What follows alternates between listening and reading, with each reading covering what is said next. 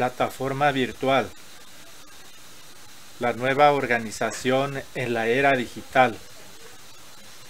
Las usan empresas, instituciones, redes, entidades, entre otros.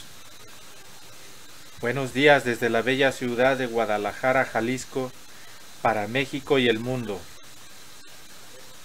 Hoy es lunes 30 de agosto del año 2021. Bienvenidas y bienvenidos a nuestro canal. Yo soy Gandul y estas son las noticias.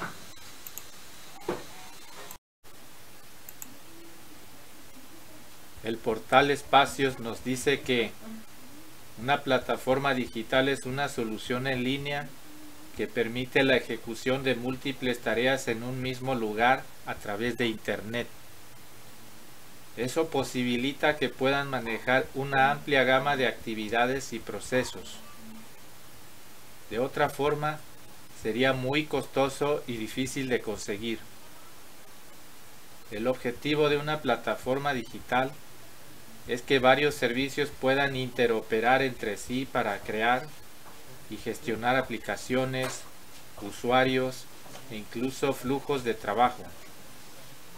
En el contexto actual de transformación digital en el que nos encontramos, las plataformas digitales han ganado protagonismo.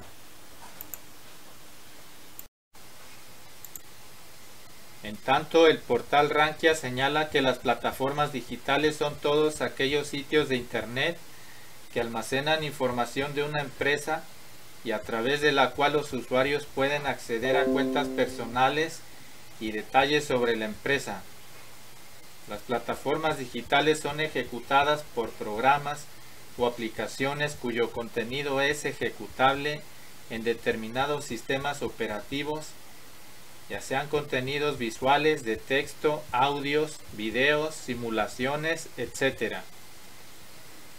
Las plataformas digitales se han convertido en el canal de comunicación más importante de las empresas e instituciones, ya que les permite llegar a una cantidad ilimitada de usuarios al mismo tiempo, agilizando los tiempos de respuesta, modernizando los procesos, a fin de hacerlos más cómodos para el usuario y maximizando la productividad de sus recursos humanos. La necesidad de satisfacer la demanda de información y consultas por parte de los usuarios ha hecho de las plataformas digitales un medio casi imprescindible para las empresas, entidades, instituciones, organizaciones, redes, etc. A través de las plataformas digitales, el administrador puede gestionar y controlar el contenido, así como crear sistemas de bases de datos que permitan al usuario ingresar a datos personales almacenados en dicha plataforma. Por ejemplo, cuando utilizas tu usuario y clave para ingresar al banco, estás haciendo uso de la plataforma digital del banco, en la cual está almacenada tu información personal y que está codificada para que solo tú puedas entrar. Plataformas digitales para qué sirven? Las plataformas digitales sirven para proporcionar a los usuarios contenidos diversificados que les permitan obtener información que están buscando. Además sirven para facilitar la ejecución de múltiples tareas en un mismo momento, incluso si estas miles de usuarios conectados a la misma plataforma haciendo la misma operación. Otra función de las plataformas digitales es facilitar a las empresas la administración, distribución de información sin necesidad de contar con un gran equipo humano, reduciendo así el margen de error y los costos de atención al cliente.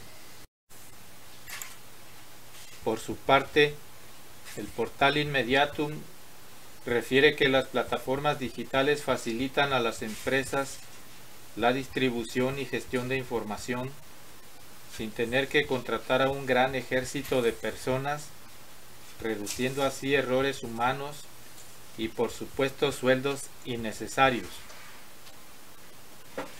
Actualmente existen muchos tipos de plataformas digitales para que puedan cumplir con funciones específicas.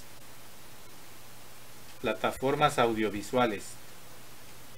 Su contenido son videos y audios de diferentes tipos. Plataformas digitales educativas. Su objetivo principal es brindar información útil de investigación y herramientas de estudio y análisis. Sirven para la educación a distancia. Plataformas de comercio electrónico. Plataformas sociales. Plataformas de imágenes. Plataformas de pago. Plataformas bursátiles. Plataformas bancarias. Plataformas especializadas. Plataformas de noticias.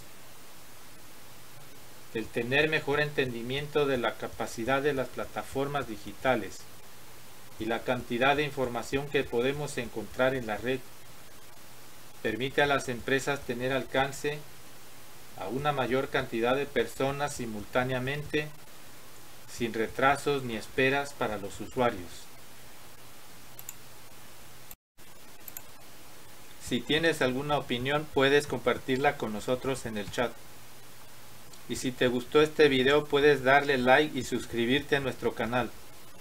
Muchas gracias por tu atención y nos vemos hasta la próxima.